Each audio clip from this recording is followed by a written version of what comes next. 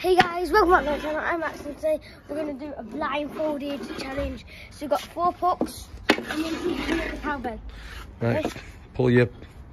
Can you see how many fingers? Wait, Wait, no. can you see how many fingers have I got? nine. Right, blindfolded challenge. Oh, first shot. Oh.